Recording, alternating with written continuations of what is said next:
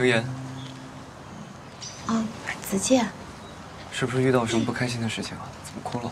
啊，没有没有，我眼睛不太舒服。不知道你有没有想过这样一个问题？其实我们学美术的，在创作一幅作品的时候，总是要不断的去删减、修改，把那些不满意的都去掉，留下来的都是想要表达的，这样才能完成一幅真正自己满意，还可以打动别人的作品。画画和生活其实有很多地方道理是相同的，生活当中会有很多不开心的事情，所以我们要不断的去删减。修改掉那些不开心，留下来的都是开心的事情。所以你一定要记得，生活当中的那些烦心事儿，千万不要占据你太多的空间。我明白你的意思，谢谢你啊。不客气。其实这些话也是我最近常常告诫自己，拿来安慰我自己的。你最近有不开心的事情吗？谁都会有不开心的事情。就比如我，我一直以为我都是挺有才华的，在这个学校当中也是年轻一辈当中的佼佼者。可直到最近我才发现，其实我对自己的认知和现实还是有很大偏差的。我不太明白，你为什么会有这样的想法？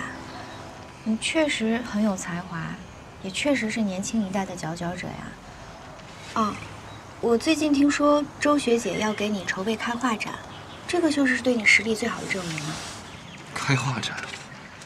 他们要给我办画展，无非就是我姐给了钱，他们是看在钱的面子上才可怜我罢了。不是这样的，周主编跟周学姐筹备给你开画展，的确是因为你的才华，因为现在画廊的策略是想培养签约一批年轻的画家，你就是他们选中的人选。你别忘了，我最近一直在画廊工作。我想，我应该最有发言权的，是吗？嗯，我怎么会骗你呢？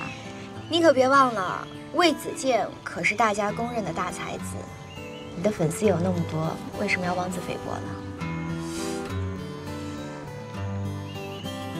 谢谢你，尤言。每次遇到你，心情都会变好，所以你也要记得开心起来。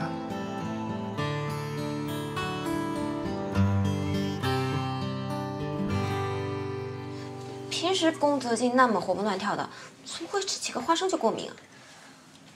网上说，对花生过敏的人，哪怕吃入极为微量的花生，也会引起严重的过敏反应，而且花生过敏是食物过敏中导致死亡人数最高的一种。哎呀，顾夜白到现在都没有给我回消息，你说宫泽静会不会有事儿啊？哎呀，你别自己吓自己了。都说祸害活千年，像宫泽静那样的肯定没事。是啊，过敏虽然严重，但只要抢救的及时，应该不会有问题的。那可是他到现在都没有联系我，而且医院也没有让我一起去。你说，他会不会以为我是故意的？有言，你是什么为人，顾夜白还不知道吗？他不会这么想的。对呀，嗯，也有可能他在忙，没看到吧？或者。是怕你担心呢。哎，快看，是不是古月白？